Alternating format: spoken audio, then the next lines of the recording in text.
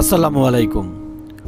অনেকগুলো travel blog করা হলেও আমার নিজ জেলা শরীয়তপুর নিয়ে কখনো কোনো ব্লগ করা হয়নি। আজকের এই ভিডিও চিত্রে আমি আমার নিজ জেলা শরীয়তপুরের নড়িয়া নিয়ে আপনাদের কাছে বিশেষ কিছু তথ্য তুলে ধরব। নড়িয়া বাংলাদেশের শরীয়তপুর জেলার অন্তর্গত একটি উপজেলা। যে উপজেলা প্রবাসীদের জন্য বেশ বিখ্যাত, বিশেষ করে ইতালি প্রবাসী। নড়িয়া উপজেলার আয়তন দুশো বর্গ কিলোমিটার। নড়িয়া উপজেলায় একটি পৌরসভা, নয়টি ওয়ার্ড, চৌত্রিশটি মহল্লা, একশো আটচল্লিশটি মৌজা, একশো গ্রাম ও চোদ্দটি ইউনিয়ন পরিষদ নিয়ে গঠিত। নড়িয়া উপজেলার নামকরণের ঐতিহাসিক ভিত্তি পাওয়া যায়নি। তবে কথিত আছে যে, অত্র এলাকার সবচেয়ে বড় মৌজা নড়িয়াকে উনিশশো সালে নড়িয়া থানায় রূপান্তরিত করা হয় এবং উনিশশো তিরাশি সালে চোদ্দটি ইউনিয়ন নিয়ে নড়িয়া উপজেলা গঠিত হয়।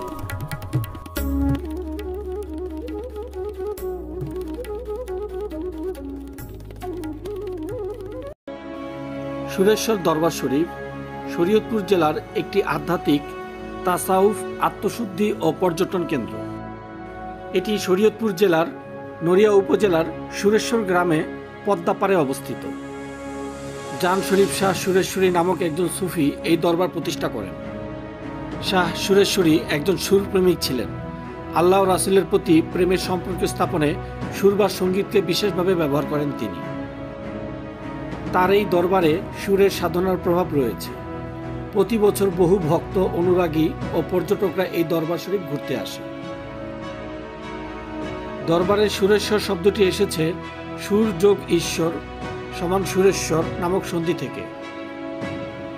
দরবারের প্রতিষ্ঠাতা শাহ সুফি আহমদ আলী জাম শরীফ সুরেশ্বরী গান বা গজল অত্যন্ত পছন্দ করতেন। তার গলার সুর ছিল সুরেলা। উনিশশো সাত থেকে উনিশশো দশ সালে শরীয়তপুর অঞ্চলে জমির সিএস জরিপ হয়। জরিপের সময় ইংরেজ অফিসার জেসি জ্যাক এই অঞ্চলে পরিদর্শনে আসেন। অফিসার জান শরীফের গানের গলা ও তার মাহাত্ম শুনে তার সম্মানে এই গ্রামের নামকরণ করেন সুরেশ্বর। প্রতি বছর সুরেশ্বর দরবার শরীফে উরস পালিত হয়। দেশ বিদেশ থেকে বিভিন্ন অনুরাগী ভক্তকুল এখানে এসে জমায়েত হয়। আমরা এখন মিনি কক্সবাজার খ্যাত পদ্মা নদীর পাড়ে ঘুরতে এসেছি। মূলপতগঞ্জের এই জায়গাটির বর্তমান নাম জয়বাংলা অ্যাভিনিউ, যা পদ্মা নদীর পাড়ে অবস্থিত। নড়িয়া উপজেলায় যদি কেউ ঘুরতে আসেন, তবে জয়বাংলা অ্যাভিনিউ ঘুরে যেতে ভুল করবেন না, কারণ জায়গাটি অনেক সুন্দর, আপনাদের খুবই পছন্দ হবে।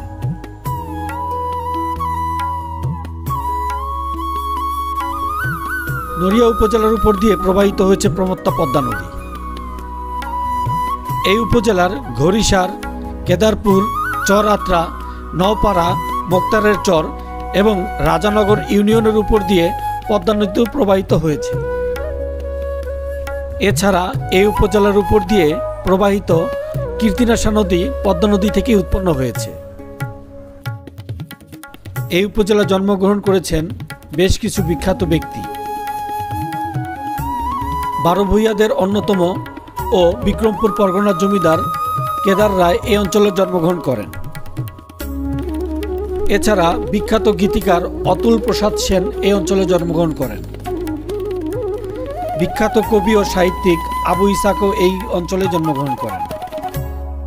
ব্রিটিশ বিরোধী সন্ত্রাসবাদী আন্দোলনের ঢাকা অনুশীলন সমিতির প্রধান কুলিন বিহারী দাসেরও জন্ম এই নড়িয়া উপজেলায়। চিকিৎসক ও ভাষা সৈনিক ডক্টর গোলাম মাওলাও এই অঞ্চলে জন্মগ্রহণ করেন।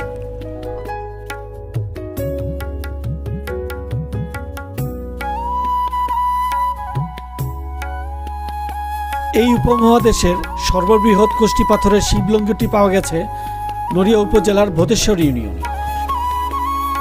নড়িয়া উপজেলা মূলত কৃষি এবং বৈদেশিক রেমিটেন্সের উপর নির্ভরশীল। পদ্মা নদীর তাজা মাছ পাওয়া যায় সুরেশ্বর বাজারে। এখানকার ইলিশ মাছ খুবই সুস্বাদু। মিনি কক্সবাজার তথা জয়বাংলা অ্যাভিনিউ বর্ষার সময় থই পানিতে বেশ রোমাঞ্চকর হয়ে ওঠে। পদ্মা নদী থেকে ভাঙন কবলিত মানুষকে বাঁচানোর জন্যই আরসিসি ব্লক দিয়ে এই সড়কটি তৈরি করা হয়। এই জয়বাংলা অ্যাভিনিউকে কেন্দ্র করেই বেশ কিছু দৃষ্টিনন্দন রেস্টুরেন্ট গড়ে উঠেছে।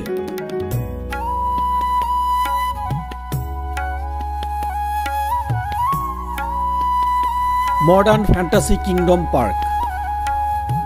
কর্মময় জীবনের ব্যস্ততার অবসরে একটু প্রশান্তি প্রদানের উদ্দেশ্যে দু হাজার এগারো সালে মডার্ন হার্বাল গ্রুপের চেয়ারম্যান ডক্টর আলমগীর মতি প্রায় পঞ্চাশ একর জমি নিয়ে মডার্ন ফ্যান্টাসি কিংডম প্রতিষ্ঠা করেন।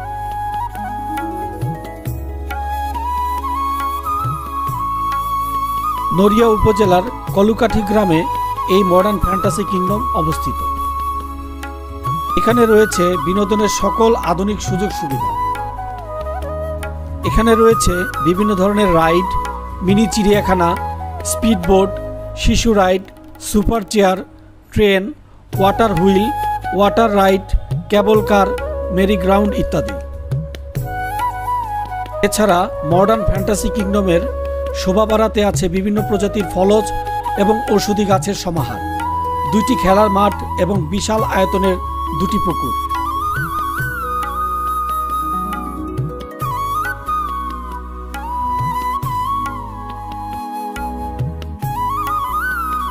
শরীয়তপুরের নড়িয়া উপজেলায় আপনাদেরকে ঘুরতে আসার জন্য স্বাগতম জানাচ্ছি।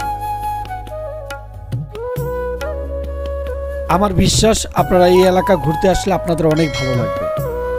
আপনারা সবাই ভালো থাকবেন, আমার জন্য দোয়া করবেন। আল্লাহ হাফেজ। আসসালামু আলাইকুম।